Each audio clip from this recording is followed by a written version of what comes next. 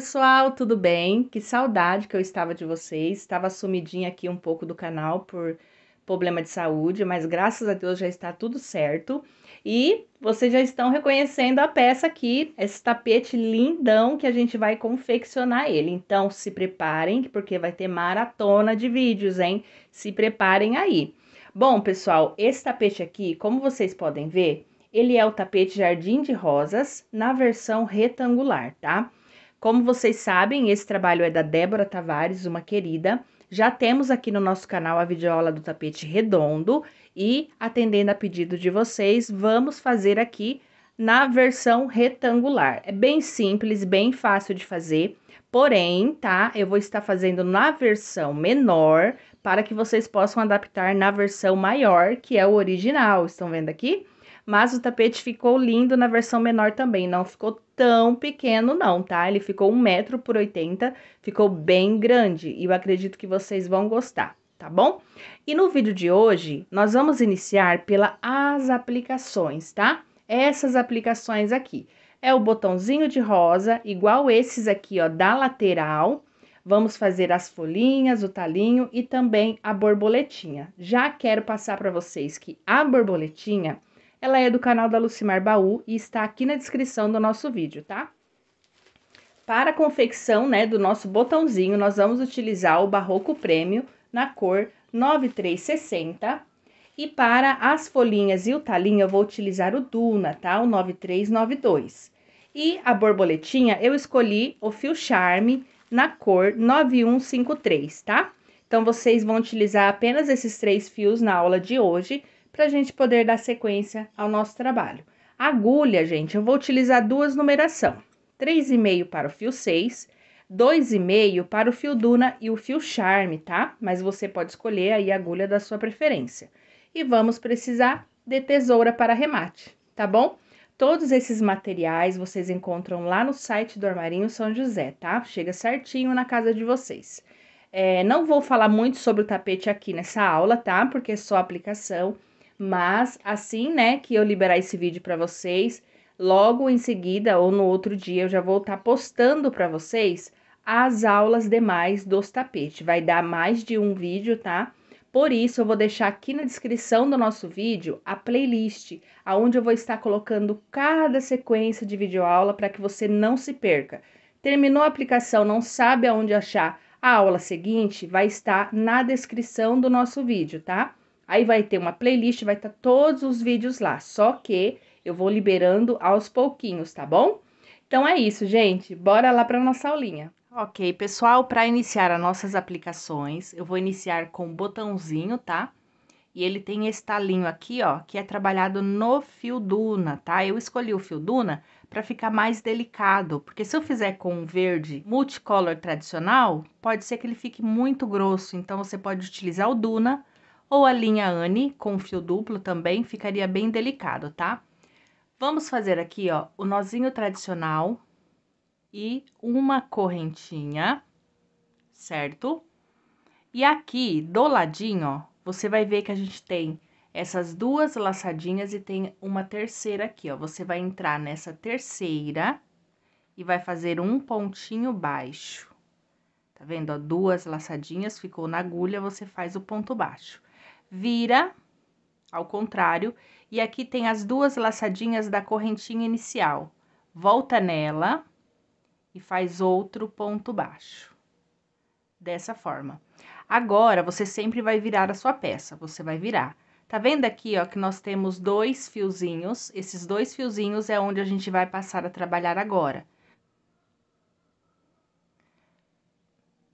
Passou pelas duas laçadinhas, você busca o fio novamente e passe por ela, aonde você vai fazer mais um pontinho baixo, tá?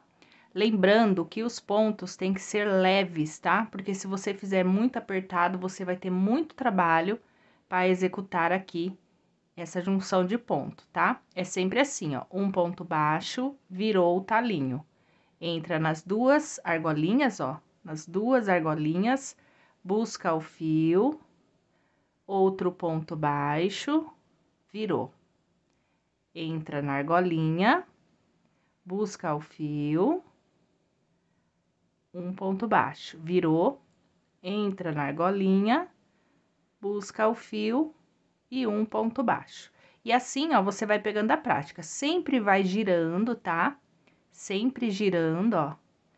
E conforme você vai pegando a prática, você vai fazendo com mais facilidade, tá?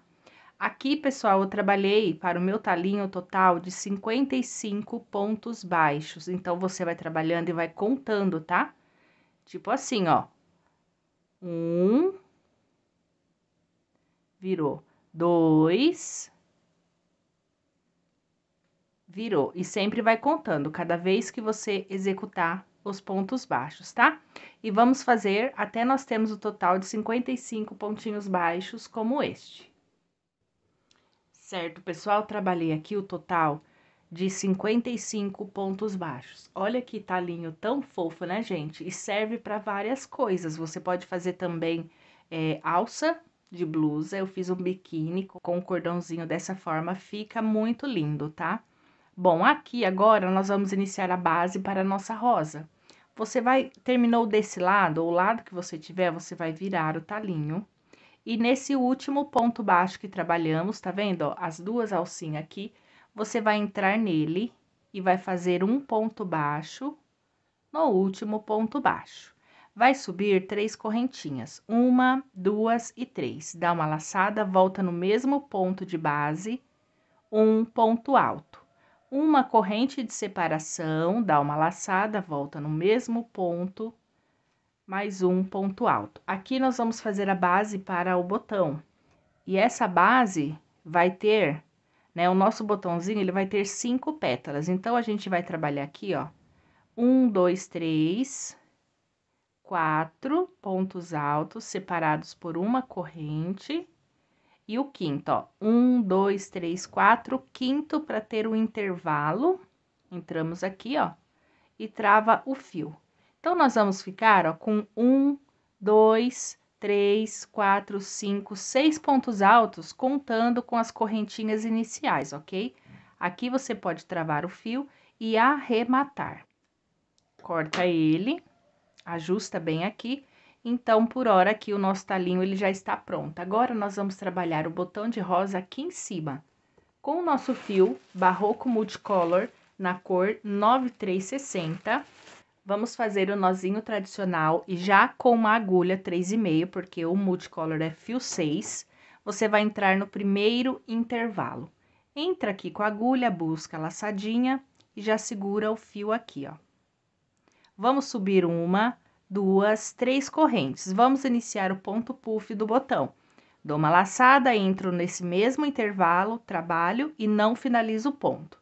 Dou uma laçada, entro no mesmo intervalo, puxo e não finalizo. Eu vou fazer isso por três vezes. Então, eu já fiz duas, vou fazer o terceiro e o quarto, tá? Por que, Vanessa? Quatro laçadas, né? Quatro vezes, porque são cinco vezes e essas três correntinhas simbolizam o primeiro. Então, eu dou uma laçada aqui atrás, ó, e passo por todos os fios, menos o último, ficando dois fiozinhos na agulha. E agora sim, eu finalizo. Tem o primeiro primeiro gominho, né, do botão. Uma corrente de separação, vou para o próximo. Agora, aqui no próximo, eu já vou trabalhar é, direto cinco pontos sem finalizar. Então, eu dou uma laçada, faço um, segura aqui, ó, com anelar, dou outra laçada, dois, outra laçada, três, outra laçada, quatro e o de número cinco. Fez aqui as cinco laçadas, busca o fio, passa em todos, menos na última da correntinha, e agora finaliza e faz uma correntinha de separação. Vamos para o próximo intervalo. Agora eu vou fazer um pouquinho mais rápido, tá? Dou uma laçada, faço um, dois, três, quatro e cinco. Passo em todos, menos no último, e finalizo uma corrente de separação, vou para o quarto intervalinho. Um, dois, três, quatro e cinco. Dou uma laçada, passo em todos os pontos, finalizo, faço uma correntinha de separação. Agora, eu vou para o último, tá? Então, aqui, ó, eu posso esconder o fio ou não, você que decide. Um, dois, três, quatro e cinco. Quase me escapa. Cinco. Passo todos os pontos, finalizo. Agora, eu não vou fazer correntinha de separação, tá? Ficamos aqui, ó, com um, dois, três, quatro, cinco gominhos. O botão tradicional, ele é só quatro, tá? Aqui eu faço cinco para ele ficar maior. Então, aqui, ó, no início, temos uma, duas, três correntinhas. Nessas duas laçadinhas de número quatro, você entra com o fio, com a agulha, perdão. Você vai buscar a laçada, fechando como se fosse um ponto baixíssimo, tá vendo, ó? Fechou. Antes de você travar, nós vamos trabalhar agora pontos picô em cima desse botão. Sem fechar, ó, eu entro no primeiro intervalinho, tenho o primeiro gomo, entro no primeiro intervalinho, ó, saindo aqui, ó, na abertura do botão, busco o fio, faço um ponto baixo. Uma, duas, três correntinhas, finalizo este ponto baixo. Certo? Volto para a base e faço mais um ponto baixo.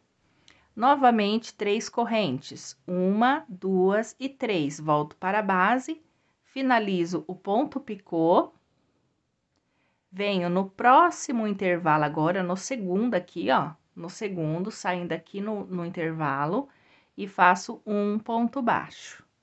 Uma, duas, três correntinhas, fecho o ponto picô e na mesma base, um ponto baixo.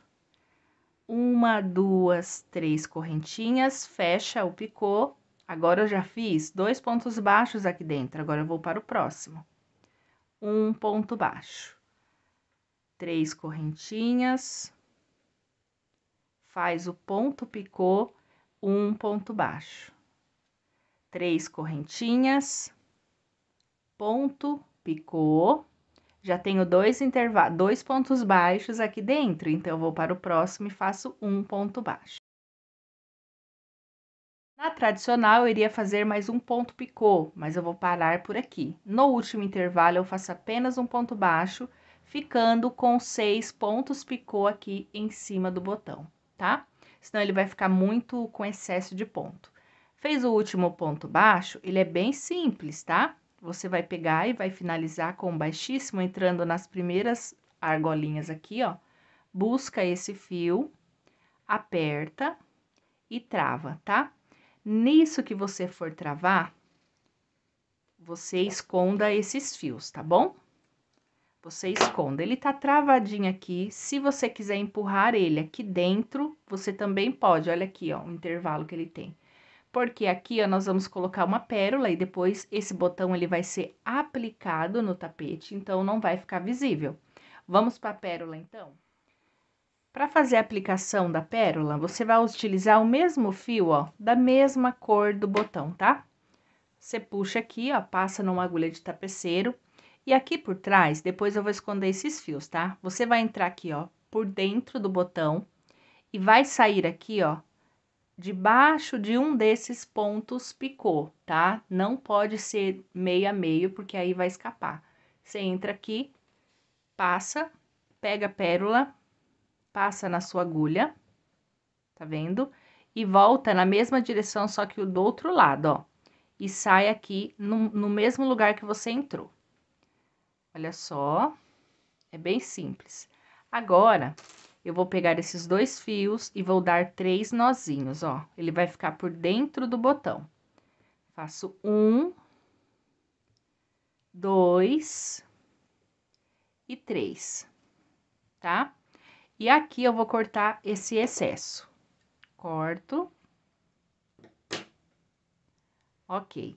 E esse fio aqui, ó, que ficou sobrando, eu entro aqui pela lateral e trago ele para dentro desse botão. Tanto o verde quanto o fiozinho que ficou sobrando do botão. E ele vai ficar dessa forma aqui, ó. Tá? Bem certinho assim, ó. Aqui nessa parte, você esconda pelo lado de baixo que a gente vai fazer a aplicação no tapete. Você esconda aqui a pontinha e corta o excesso, tá? Bom, para o tapete, quem for fazer o tapete grande, você vai precisar de quatro botõezinhos como esse. Quatro botõezinhos, tá? Mas quem for fazer o tapete menor, apenas dois, tá bom? Dois botõezinhos desse. Bom, agora eu vou explicar para vocês as folhinhas, ó. Para o tapete menor, nós vamos utilizar seis folhinhas e para o tapete maior, você vai utilizar 12. Aqui eu tenho as minhas cinco e eu vou fazer a sexta com vocês. A nossa folhinha é bem simples, você vai fazer o nozinho tradicional. Eu já tenho dessa folhinha aqui no canal, mas para vocês não ficar pulando de vídeo em vídeo, né? Eu vou repassar aqui a diferença dessa, que ela tem o acabamento em ponto caranguejo, tá? Então, você vai fazer o nozinho tradicional e vai trabalhar 10 correntes. Uma, duas, três, quatro. Feitas 10 correntinhas, nós vamos trabalhar sobre elas agora. Você vai pular a primeira e vai entrar na segunda com um ponto baixo, certo? A segunda, meio ponto alto, passando as três laçadinhas, ó, de uma vez. A terceira, um ponto alto normal. A segunda, ponto alto duplo. A quarta, né? A segunda não, a quarta a quinta, outro ponto alto duplo. E a sexta, outro ponto alto duplo. Então, ficamos com três pontos altos duplo aqui. E para descer, nós vamos começar a diminuição. Um ponto alto normal. Agora é a vez do meio ponto alto, passando as três laçadinhas de uma vez. E na última, um ponto baixo. Para virar, nós vamos fazer uma correntinha e vamos virar. Aqui, ó, você já pega esse fiozinho para trabalhar sobre ele. No mesmo lugar onde fizemos um ponto baixo, você vai entrar com a agulha e vai repetir aquela sequência. Um ponto baixo, segundo ponto, meio pontinho alto, terceiro ponto, um ponto alto normal, e agora é a vez dos três pontos altos duplo. Então, eu fiz o primeiro, vou fazer o segundo, o terceiro, ponto sobre ponto, tá? E agora eu volto a diminuição novamente. Um ponto alto,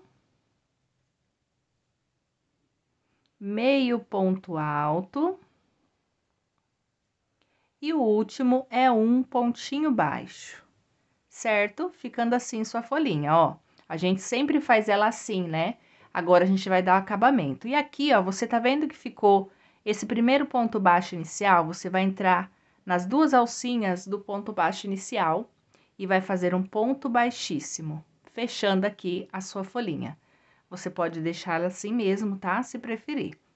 Vamos subir uma correntinha e vamos trabalhar o ponto caranguejo. Então, aperto bem o ponto caranguejo, ele é ao contrário. Ele não é nesse sentido que a gente faz, é um sentido anti-horário. Então, você vai voltar aqui, ó. Tá vendo aqui esses dois pontinhos iniciais? Você vai voltar nele, ó. Entra aqui, tá? Busca o fio lá atrás, ele vai fazer um ponto baixo torcido, tá? Ele torceu, você finaliza. Próximo ponto da, é, anterior, puxou, finaliza o seguinte, sempre assim, ó, tá vendo que a gente tá fazendo pontos baixos, só que ele tá torcendo, porque nós estamos fazendo ponto de trás para frente, ou melhor, de frente para trás, coisa assim. Ele vai torcendo, ó. E conforme você vai trabalhando, ele vai ficando essa nervurinha. Então, você vai fazer ponto sobre ponto, até chegar aqui nessa pontinha, ó, Aqui nós temos o último, ou melhor, o primeiro ponto baixo. E agora, a gente vai descer para essa lateral. Lembra que a gente fez uma correntinha? Você faz a correntinha também, para não repuxar. E agora é só descer ponto sobre ponto. Aí, você vai no ponto baixo. Depois é a vez do meio ponto alto. Depois é a vez do ponto alto. E assim por diante, até chegar no finalzinho de todos os pontos. É bem gostosinho de fazer, tá? No começo, quem for fazer a primeira vez vai estranhar, mas é, vai pegando jeito, ó. Até o último ponto. Vou fazer aqui o último, certo? Não tem mais para onde eu ir. Eu vou virar o trabalho. E aqui, ó, nas duas alcinhas do primeiro ponto, eu busco essa laçadinha para o lado de trás, ajusto ela, faço um ponto baixíssimo, aperto, corta o excesso. E essa pontinha aqui, ó, você esconde sobre alguns pontos atrás da folhinha, ó.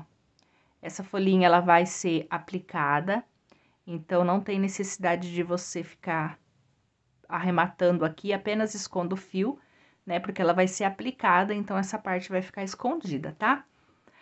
E é isso, pessoal. Então, ó, para o nosso tapete, nós vamos utilizar seis folhinhas para cada aplicação. Para uma aplicação, nós vamos utilizar seis folhinhas e dois botões. Se você quiser fazer duas aplicações, é só dobrar a quantidade, né, de folhinhas e botão. E também eu vou utilizar aqui, ó, a borboletinha da nossa amiga Lucimar Baú, eu vou deixar o link aqui na descrição do nosso vídeo, tá? Para você acompanhar, tá bom? Bom, pessoal, espero que vocês tenham gostado da aula. Eu resolvi adiantar essa parte aqui para a gente já dar sequência ao tapete na próxima videoaula. Então, aqui na descrição do nosso vídeo, eu vou deixar a playlist para você estar acompanhando a sequência de vídeos, tá? Então, você vai fazer um, que é a aplicação primeiro, né? Resolver a cor que vocês vão fazer, a quantidade de aplicação. Depois a gente já vai sequência para o nosso tapete, tá bom? Então é isso, pessoal. Eu espero que vocês tenham gostado da nossa aulinha e até o próximo vídeo. Prometo não demorar, tá?